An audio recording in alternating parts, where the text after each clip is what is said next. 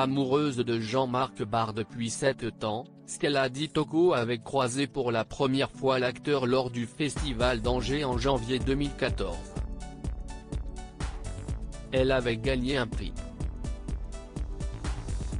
Elle est metteur en scène, et moi je présentais un film de Lars von Trier racontait la star du film Le Grand Bleu à Pure People en 2015.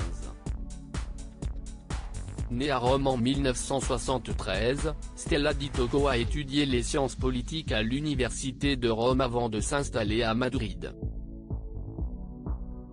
Passionnée de cinéma, elle obtient un diplôme en réalisation à l'ECAM. Pour commencer sa carrière dans le 7e art, elle débute en tant qu'assistante réalisatrice dans des productions cinématographiques et théâtrales entre 2005 et 2007.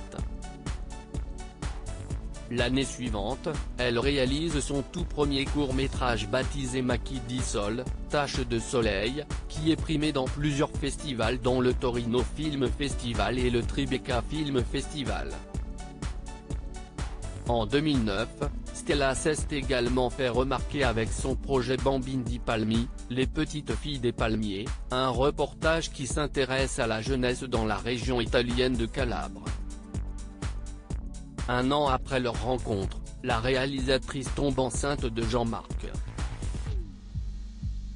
Le couple a accueilli leur premier enfant le 9 août 2015, un petit garçon prénommé Jude très heureux d'être devenu papa à 54 ans, Jean-Marc avait annoncé la naissance de son fils sur les réseaux sociaux en publiant la première photographie du nouveau-né. En légende, il écrivait, Jude est né à 11h ce matin, la maman et le garçon vont bien.